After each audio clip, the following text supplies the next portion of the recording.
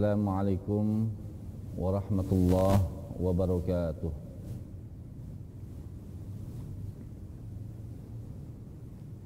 أعوذ بالله من الشيطان الرجيم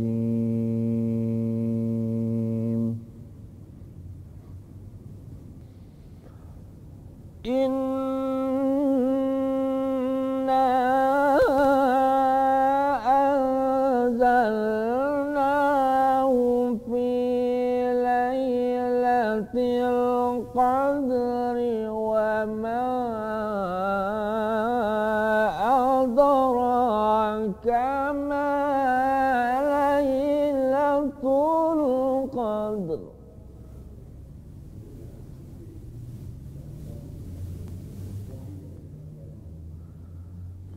ليلة القدر خير من ألف شهر.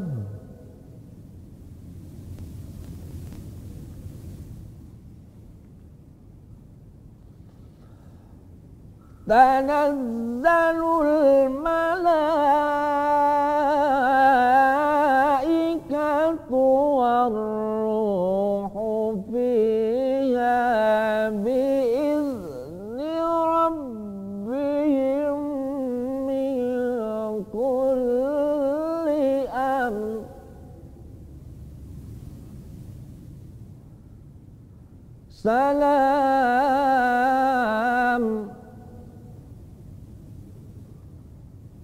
سلام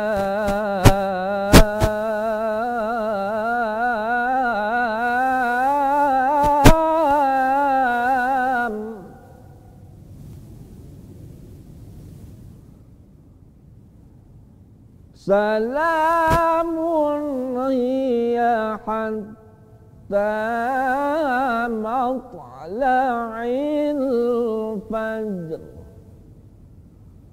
Sadaqallahul azim. Wassalamualaikum warahmatullahi wabarakatuh. Dengan menyebut nama Allah yang Maha Pemurah lagi Maha Penyayang, sesungguhnya kami telah menurunkannya Al-Quran pada malam Qadar dan tahukah kamu apakah malam kemuliaan itu? Malam kemuliaan itu lebih baik daripada seribu bulan. Pada malam itu turun para malaikat dan ruh Jibril dengan izin Tuhannya untuk mengatur semua urusan. Sejahteralah malam itu sampai terbit fajar. Assalamualaikum warahmatullahi wabarakatuh. Waalaikumsalam warahmatullahi wabarakatuh. Selamat sore pemirsa TVRI yang dirahmati Allah Subhanahu wa taala. Senang sekali saya Radha Setiawan dapat menjumpai Anda di program Takjil Takorup ke Jalan Ilahi. Ilahi. Dan seperti biasa sebelum berbuka puasa, saya akan mengajak Anda untuk menyimak kajian-kajian Islam dengan tema-tema yang sangat menarik. Dan tema kami pada sore hari ini yaitu amalan peraih Lailatul Qadar. Dan saya tidak sendiri pada kesempatan berbahagia di sore hari ini. Saya sudah bersama dengan Ustadz Udi Sulaiman yang akan berbagi ilmu kepada kita. Assalamualaikum Ustadz. Waalaikumsalam warahmatullahi wabarakatuh. Apa kabar Ustadz? Alhamdulillah, Alhamdulillah. sehat. Sehat, Ustaz, ya? Ya. Baik, seperti biasa saudara, kita akan mendengarkan bersama terlebih dahulu tausiah singkat dari Ustadz terkait tema kita pada sore hari ini, amalan peraih Lailatul Qadar. Silakan Ustadz. Bismillahirrahmanirrahim. Assalamualaikum warahmatullahi wabarakatuh. Waalaikumsalam. Alhamdulillah rabbil alamin wal aqibatu lil muttaqin wala udwana illa 'alal zalimin wa asyhadu an la ilaha illallah wahdahu la syarikalah lahul mulku wa lahul hamdu wa huwa ala kulli syai'in qadir. Para pemirsa TVRI Bangka Belitung di mana saja kalian berada di kota Pangkal Pinang dan sekitarnya eh, kita sudah sampai di hari-hari di bulan Ramadan bila Ramadan itu 30 hari, maka kemudian Ramadan dibagi menjadi tiga, diklasifikasi menjadi tiga, 10 hari pertama, 10 hari kedua, dan 10 hari ketiga. Hmm. Diharapkan bagi kita yang berpuasa untuk meningkatkan puasa kita di 10 pertama, kemudian di 10 kedua harus lebih meningkat daripada di 10 pertama, wabil khusus uh, secara spesifik itu di hari di 10 hari yang ketiga. Fil asril awakhir di 10 yang terakhir. Nah, di 10 yang terakhir itu Nabi Muhammad uh, mengidentikan kegiatan-kegiatan ibadahnya dengan eh, kegiatan-kegiatan yang sangat spesial. Nabi banyak beriktikaf di hari-hari itu dan Nabi juga uh, banyak melakukan perbuatan-perbuatan uh, yang yang sangat-sangat sempurna berbeda dengan kita secara umum. Dan kemudian di di hari-hari di mana turun Lailatul Qadar itu di hari-hari yang ganjil misalnya di 10 terakhir itu juga diturunkannya uh, kitab suci Al-Qur'an secara tadrijian, secara ber, bertahap sebagaimana yang telah kita pelajari dalam beberapa kajian-kajian ulumul Quran dan beberapa kajian-kajian tafsir. E, marilah kita meningkatkan e, puasa kita dan kita berusaha sebagai mukmin meningkat dari muslim. Kita adalah orang-orang tertentu, orang-orang Islam yang punya ciri-ciri khas tertentu, orang-orang Islam yang punya hal-hal yang distintif e, bila kita bandingkan dengan umat Islam secara umum karena kita dibatasi dan jumlah orang-orang mukmin itu tidak banyak diharapkan jumlahnya meningkat dan khususnya di bulan Ramadan ini eh, kita berusaha untuk mencari eh, hari-hari spesial, malam-malam spesial. Salah satu malam yang sangat spesial yang ada di bulan Ramadan yaitu adalah Lailatul Qadar. Lailah itu artinya malam. Malam itu identik dengan khufyah, dengan keheningan malam. Asyaddu wat'an identik dengan khufyah. Kenapa kita dianjurkan untuk beribadah di malam hari? Karena malam hari itu identik dengan keheningan malam. Di keheningan malam tidak ada kebisingan, tidak ada hiruk pikuk dan kita bisa memaksimalkan, mengoptimalkan ibadah kita di malam-malam itu. Al-Qadar, Al-Qadar itu nanti akan kita jelaskan bahwa Al-Qadar itu adalah malam Lailatul Qadar. Hmm. Nah, malam yang sudah ditentukan, yang sudah diukur, yang sudah diatur atas kekuasaan, atas otoritas Allah Subhanahu wa taala. Hmm. Oke, okay, Ustadz. Nah, sebelum kita uh, nanti membacakan pertanyaan-pertanyaan dari yeah, pemirsa yeah, di rumah iya, Ustadz. Yeah, yeah. Ini sebenarnya kalau dalam Islam apa sih keistimewaan keistimewaan dari, dari Lailatul Qadar, Qadar ini, ya, Lailatul hmm. Qadar. Uh, Lailatul Qadar itu dijelaskan dalam Al-Qur'an, ya sudah dijelaskan dalam dan selalu dijelaskan ya. Hmm. Dan tidak akan berakhir itu dijelaskan ya disebutkan di dalam Al-Qur'an tentang Lailatul Qadar. Dan uh, di mana di malam Lailatul Qadar itu uh, disebutkan misalnya tanazzalal malaikah warruh fiha bi izni rabbihim fi min kulli amr. Uh, turun malaikat-malaikat warruh.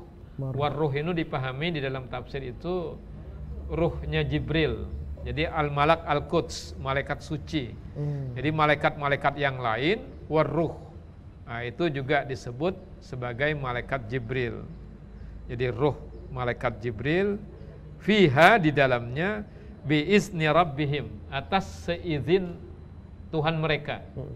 Jadi malaikat ini makhluk yang sangat patuh, yang sam'an wa ta'atan, yang patuh terhadap Tuhan mereka, ya tidak pernah ber, berkhianat, ya. tidak pernah tidak mematuhi perintah Allah. Hmm. Jadi makhluk yang terbuat dari cahaya, min nur dari cahaya.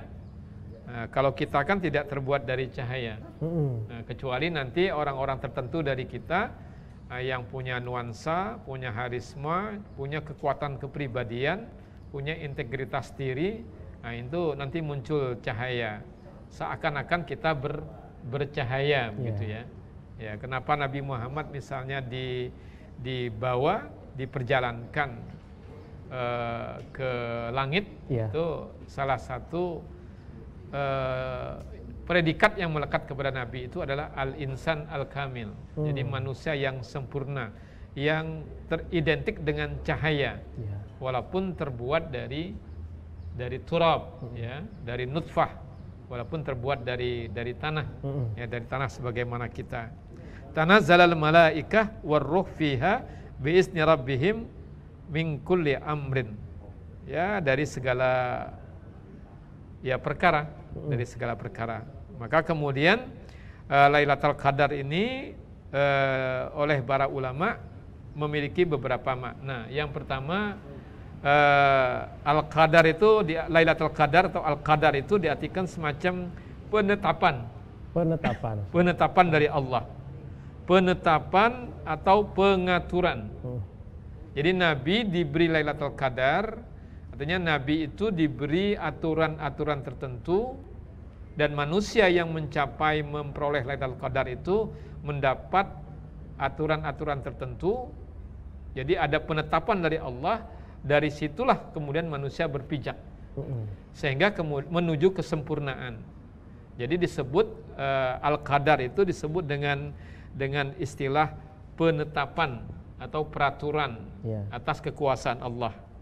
Kemudian yang kedua, al-qadar itu artinya kemuliaan, Kemuliaan. kemuliaan. Oke. Jadi kemuliaan.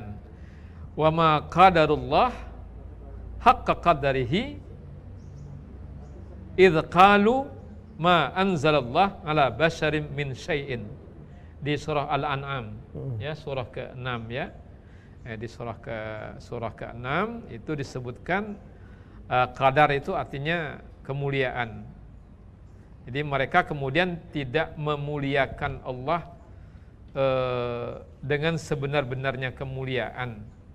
Ya karena mereka tidak meyakini bahwa yang turun dari Allah kepada manusia itu ya sesuatu yang benar-benar eh, luar biasa begitu Ya. ya artinya yang kedua eh, al-qadar itu diartikan kemuliaan dan yang ketiga itu al-qadar itu diartikan sempit Sempit, Ustaz. Hmm, ya Allah yabsutur rizqa Allah melapangkan rizki ya lima yasa kepada orang yang dikehendaki wa yaqdiru Mm-mm. dan Allah juga memberi kesempitan.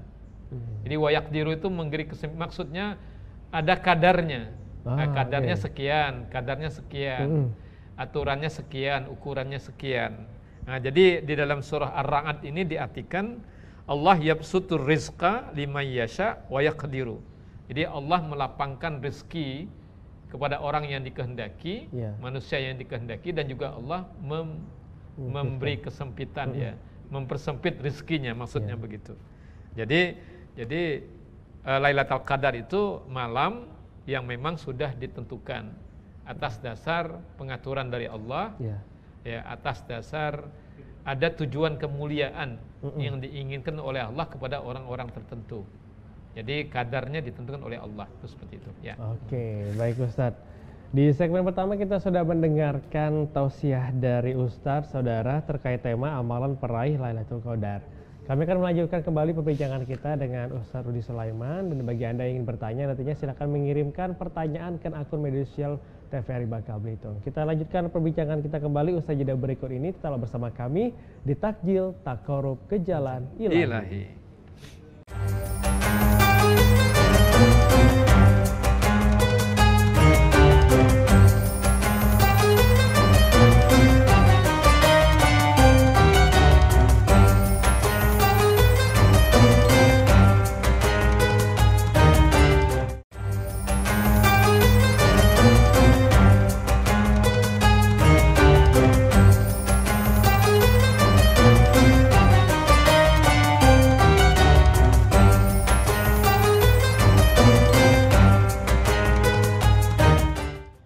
Alhamdulillahirrabbilalamin. Terima kasih saudara. Anda masih bersama kami di Takjil Takarub ke Jalan Ilahi. Masih bersama saya Frigrada Setiawan dan juga Ustadz Rudi Sulaiman Yang akan berbagi ilmu kepada kita pada sore hari ini.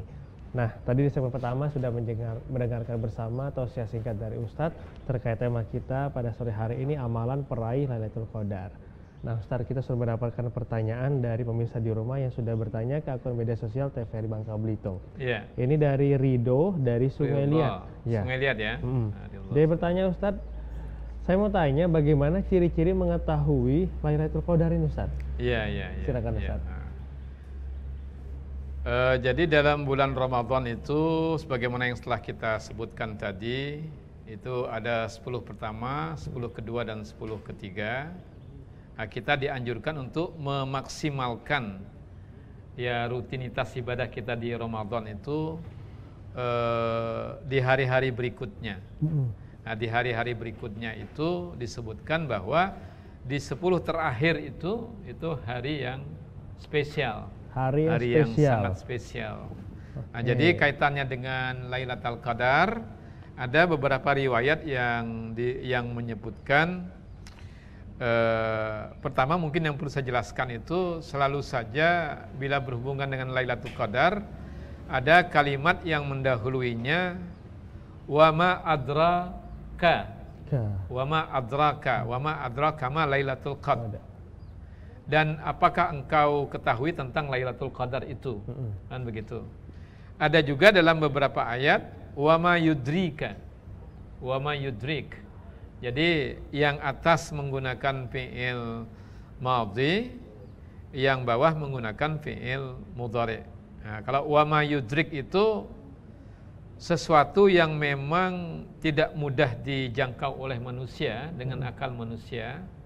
Nah, tapi kalau dimulai dengan wama yudrik itu ya sesuatu yang yang yang akan terjadi itu tidak bisa diprediksi oleh manusia. Hmm, hmm. Misalnya wama yudrika la'alla sa'ah takunu qariban. Nah, Dan apa yang engkau ketahui, yang akan engkau ketahui, nah, barangkali la'alla sa'ah takunu qariban. Ya barangkali hari pembalasan itu atau hari kiamat itu eh, akan dekat, Ya. akan dekat ya, akan terjadi dalam waktu dekat, maksudnya begitu. Atau wa ma yudrika la'alla sa'ah qarib. Eh, barangkali ya hari kiamat itu sudah dekat, sudah dekat. Artinya kita kita tidak bisa memprediksi. Nah, be- berbeda dengan wama adra wama adra kama wama adraka wama adraka itu eh, sesuatu yang disembunyikan oleh Allah Mm-mm. yang kemudian pada akhirnya Allah kemudian memberitahukan. Nah, termasuk eh, Lailatul Qadar. Nah, ka- karena kemudian para ulama itu berpendapat dalam beberapa riwayat misalnya dari Aisyah an Aisyata radhiyallahu anha qalat kana Rasulullah sallallahu alaihi wasallam yujawiru fil asri al awakhir. Jadi ada perbedaan di 10 yang ketiga ini bahwa Nabi Muhammad itu yujawiru fil asril awakhir beriktikaf di 10 terakhir, Sepuluh terakhir. di 10 terakhir. Hmm. Jadi Nabi itu menyikapi 10 terakhir itu spesial, Ya. spesial. Eh, min Ramadana dari bulan Ramadan, dari bulan Ramadan. Wa yaqulu dan kemudian Nabi berkata, Nabi bersabda, taharru Lailatul Qadar. Taharru Lailatul Qadar, ya beritikaflah di eh, di malam Lailatul Qadar Hmm. fi asril awakhir min Ramadan. Nah, fi asril awakhir min Ramadan. Jadi kita dianjurkan untuk beribadah eh, salah satunya adalah iktikaf sebanyak-banyaknya merenungkan diri kita, memaksimalkan mengoptimalkan ibadah kita di 10 terakhir Lailatul Qadar. Jadi di malam Lailatul Qadar itu dan ditegaskan di sini bahwa malam Lailatul Qadar itu terjadinya fil asril awakhir min Ramadan. Hmm. Jadi malam Lailatul Qadar itu dilaksanakan terjadi di 10 terakhir di bulan Ramadan. Tapi agak spesifik Ya. eh, di di di riwayat lain menyebutkan ada kata-kata witir. Witir. Ya, tahri Lailatul Qadar fil witri. Malam Lailatul Qadar fil witri di tanggal-tanggal ganjil. Hmm. Ya, fil witri asril awakhir di 10 yang terakhir. Jadi kalau ganjil itu berarti kan 20 berapa itu? 29, 27, 25, 23, 21. Nah, jadi Lailatul Qadar itu akan terjadi pada orang-orang tertentu disebutkan oleh ya, oleh disepakati oleh ulama dan dalam beberapa riwayat disebutkan. Salah satunya uh, riwayat yang bersumber dari Siti Aisyah. Ya. Nah, itu menyebutkan bahwa Lailatul Qadar itu terjadi di 10 Ramadan ya, mm -hmm. di 10 terakhir di bulan mm -hmm. Ramadan. Jadi 10 yang dari ketiga, dari 30 hari itu. Mm -hmm. uh, agak spesifik tadi dijelaskan bahwa uh, tahari Lailatul Qadar fil witri di hari-hari yang ganjil asril awakhir yaitu 10 yang terakhir. Nah, berarti kita tinggal hitung saja yang ganjil. Nah, nuansanya akan ber, berbeda, berbeda bagi orang-orang yang memaksimalkan. Hmm. Jadi ada ada optimalisasi di 10 yang ketiga. Jadi kalau terawihnya terawihnya di 10 pertama ya semangat, 10 kedua tidak semangat, 10 ketiga tambah tidak semangat, berpikir ke hal-hal yang agak pragmatis, ya pasti nuansanya tidak tidak baik yeah. ya. Nuansanya tidak baik. Hmm. Oke. Okay. Uh, Oke. Okay. Gitu. Oke, okay, baik dan kita harus jeda sejenak sambil menunggu pertanyaan lainnya dari pemirsa yang ingin bertanya. Dan saudara, tetaplah bersama kami di Takjil Takor Jalan Ilahi. Kami akan segera kembali untuk Anda dengan tema pada sore hari ini bagaimana untuk meraih amalan di malam Lailatul Qadar. Tetaplah bersama kami.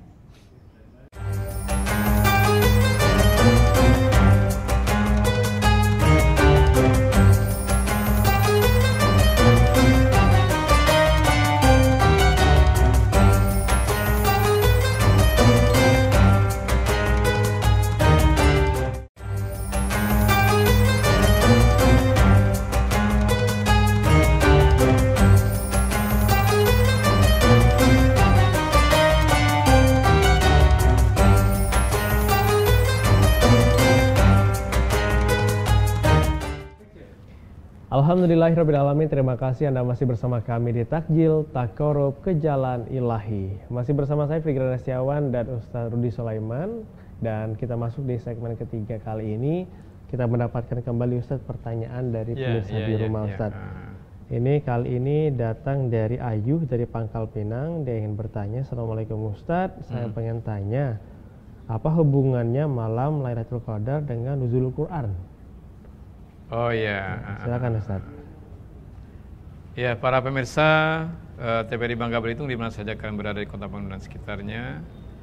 Uh, jadi bila ada pertanyaan tentang uh, nuzul Quran, jadi disepakati bahwa nuzul Quran itu diturunkan di bulan Ramadan. Mm -hmm.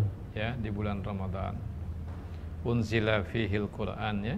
Ya, bulan Sahrul Ramadan alladzi unzila fihil Quran bulan Ramadan itu bulan diturunkannya Al-Quran di hari-hari di bulan itu.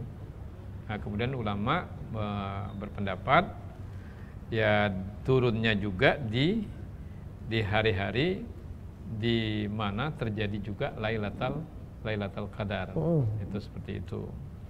Jadi berarti di hari yang 10 ter terakhir Lailatul. Qadar ya. itu terjadi.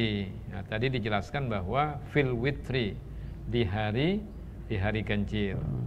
Karena Nabi Nabi memaksimalkan ibadahnya.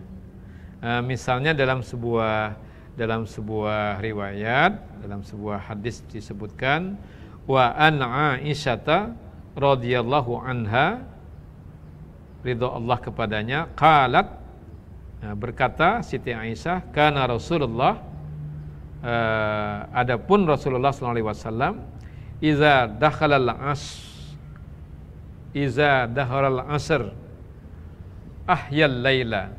Jadi ketika masuk ke 10 hari yang ketiga maksudnya ini. Jadi al asr asr itu asrah. Jadi ahada asyara itu 11 ihda asrata itu juga 11 tapi untuk muannas. Jadi idza dakhalal asra ahyal laila. Nabi menghidupkan suasana malam. Hmm.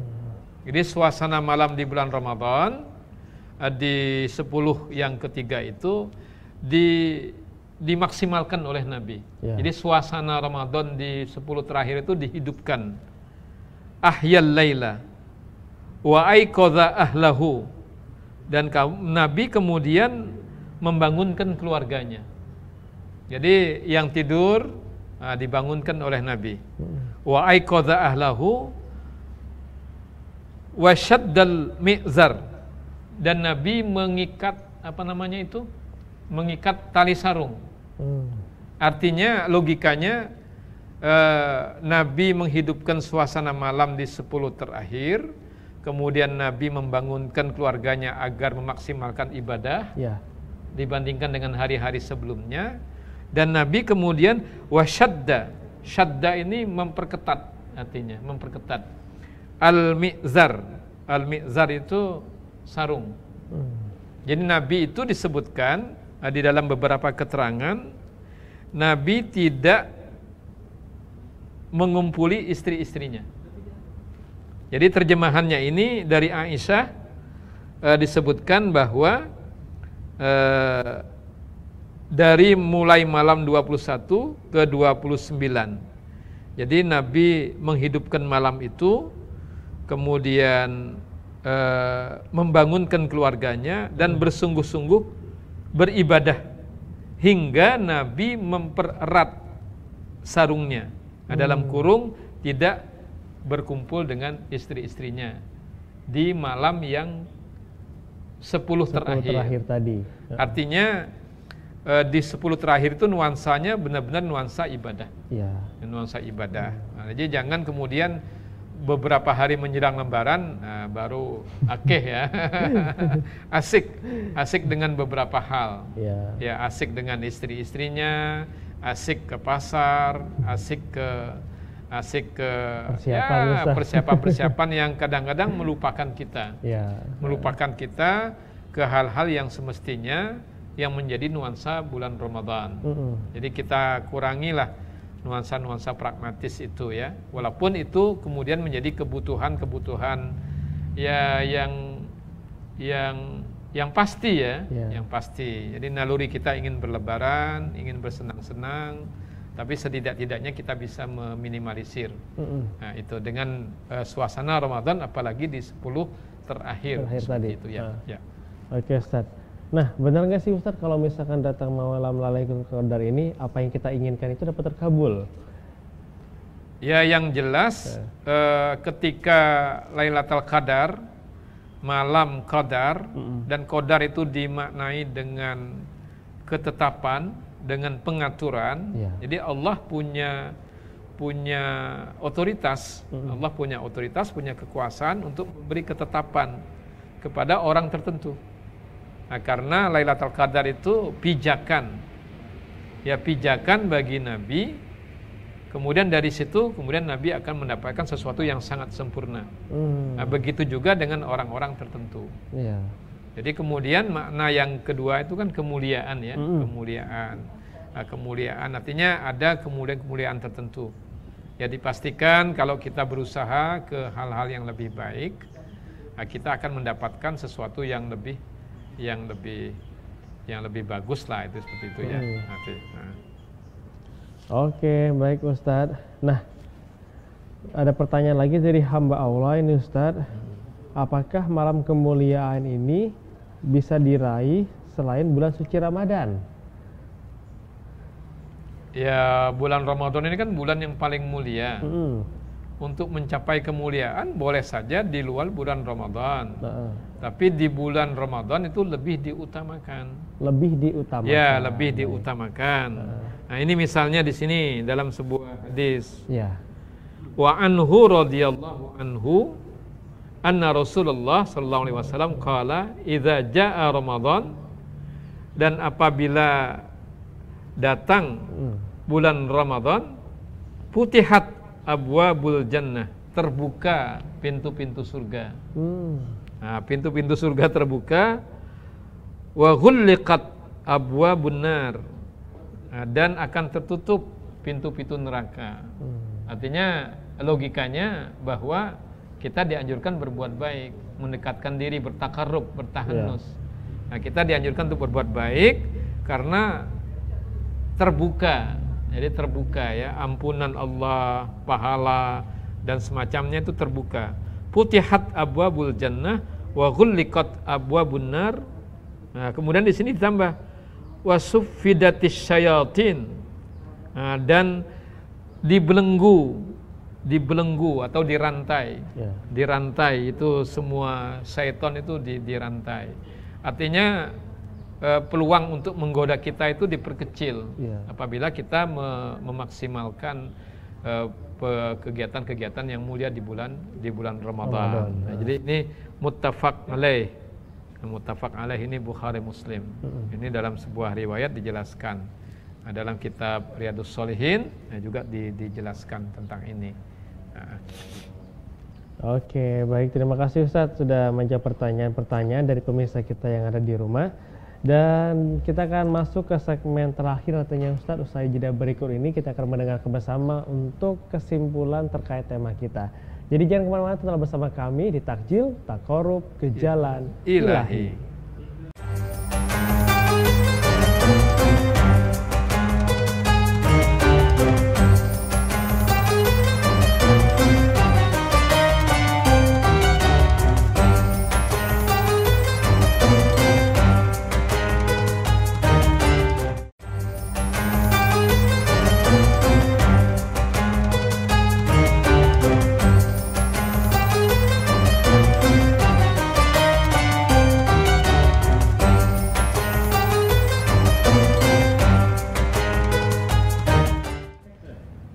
Alhamdulillahirrahmanirrahim Terima kasih saudara yang masih bersama kami di Takjil Takorup ke Jalan Ilahi Dan kita masuk di segmen terakhir di sore hari ini terkait tema kita Yaitu amalan peraih Layatul Qadar Tadi sudah banyak sekali dijelaskan oleh Ustadz Ruhdi Sulaiman Terkait dengan malam keistimewaan dari Lailatul Qadar ini Dan kita masuk di segmen terakhir Ustadz Ya, ya, Bisa baik. memberikan Ya. kesimpulan kepada pemirsa kita di rumah jadi apa yang kita bicarakan pada sore hari ini? Silakan Ustaz. Ya. Eh, para pemirsa TVRI Bangga Belitung di mana saja kalian berada di kota Pamekasan dan sekitarnya, eh, selamat menunaikan ibadah puasa di hari-hari di bulan Ramadan ini. Eh, kita tentunya berusaha berikhtiar mudah-mudahan puasa kita menjadi puasa yang sangat di yang sangat bermakna. Jadi yang kita inginkan di dalam beribadah ini sebenarnya bukan hanya sekedar eh, puasa, ya, puasa ya ibadah tertentu di Ramadan, puasa secara kasat mata yang kita sebut dengan suratul ibadah, suratul saum. Jadi gambarnya puasa. Kita tidak makan dan kita tidak minum, tapi kita puasa dalam hal atau dalam tahapan hakikatul ibadah. Benar-benar kita mencapai eh, hakikat atau substansi dari dari ibadah puasa itu. Eh, salah satu yang kita inginkan di dalam Ramadan ini kita bisa menggapai satu malam yang sangat spesial khair min alfi syahr yang lebih baik dari seribu bulan Seribu bulan. yang telah ditegaskan di dalam Al-Quran yaitu Lailatul Lailatul Qadar. Mudah-mudahan Lailatul Qadar menjadi ketetapan eh, pengaturan atas dasar otoritas Allah, kekuasaan Allah kepada kita. Kita diberi sesuatu yang sangat spesial karena ikhtiar-ikhtiar kita di dalam beribadah, terutama di bulan Ramadan. Yang kedua, kita kemudian mendapatkan kemuliaan. Allah memuliakan kita lebih dari hari-hari sebelumnya apalagi karena bulan Ramadan ini adalah bulan yang identik dengan eh, kegiatan-kegiatan yang berupa keutamaan-keutamaan yang kita sebut dengan fadailul amal. Selain kita sholat wajib, selain kita puasa wajib, kita juga menunaikan hal-hal yang bersifat disunahkan oleh Allah Subhanahu wa taala. Kita menjalankan sholat tarawih, Ya. kita menyampaikan tausiah atau kita mendengarkan tausiah, kita bersedekah, kita berinfak, kita mengeluarkan zakat fitrah, setidak-tidaknya zakat eh, zakat fitrah ya, zakat yang lain, zakat mal atau zakat-zakat eh, termasuk yang terpenting adalah yang secara khusus yaitu adalah zakat fitrah alal akal. Itu diwajibkan bagi bagi kita untuk mengeluarkan itu dua setengah persen. Mulai dari gurrah Ramadan dari awal Ramadan hingga menjelang sholat Idul Fitri yang yang akan kita tunaikan. Mudah-mudahan apa yang kita laksanakan menjadi keutamaan dan kita digiring suasana kejiwaan kita ke titik yang sangat positif karena dalam hidup ini kita tinggal pilih apakah kita memilih madiyah duniawiyah materi yang berorientasi kepada keduniaan atau kita memilih ruhiyah ukhrawiyah hal-hal yang bersifat spiritual yang berorientasi kepada keakhiratan. Salah satu pilihan kita adalah berpuasa dan mudah-mudahan hari-hari puasa kita sampai kepada kita memperoleh apa yang disebut dengan Lailatul Qadar, malam Lailatul Qadar ya, Lailatul Qadar, malam spesial. Malam yang diberikan oleh Allah, dianugerahkan oleh Allah kepada orang-orang tertentu. Demikian yang bisa disampaikan. Mudah-mudahan bermanfaat. Walaupun minkum wallahu muwaffiq ila Wassalamualaikum warahmatullahi wabarakatuh. Waalaikumsalam warahmatullahi wabarakatuh. Terima kasih untuk Ustaz Rudi Sulaiman telah berbagi pada sore hari ini. Ya. Semoga apa yang disampaikan bisa bermanfaat untuk kita semua dan meningkatkan keimanan kita kepada Allah Subhanahu wa taala apalagi di bulan suci Ramadan ini Ustaz ya. Dan terima kasih juga untuk seluruh pemirsa yang telah menyaksikan tahjil takwaruk ke jalan ilahi dan semoga tayangan ini bisa bermanfaat kita bisa berjumpa lagi di lain kesempatan. Saya Fri Granasior mewakili kerabat kerja yang bertugas pamit undur diri. Terima kasih. Assalamualaikum warahmatullahi wabarakatuh. Dan sampai jumpa.